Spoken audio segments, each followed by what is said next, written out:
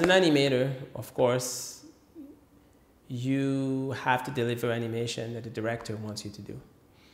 Uh, often, when you're stuck, when you don't know what to do, is because two things. You did not understand what the director wanted.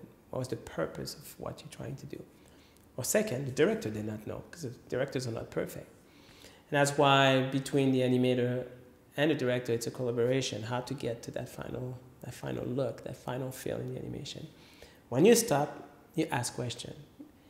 If the director explains and you, you, you understand, but you still cannot do it, you ask yourself questions actually. What are you trying to achieve?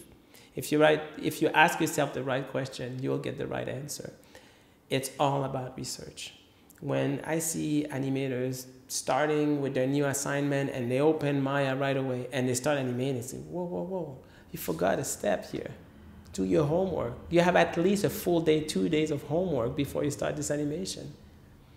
How is this character moving? Is he heavy? Is he light? What is he thinking? Is he sad? Is he happy?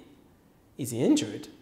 All that comes all together and in the performance. If you don't answer those questions, you could animate the wrong thing and the director will be very disappointed. They will ask you, hey, this is not what I asked for, which has, this has happened to me in my early age.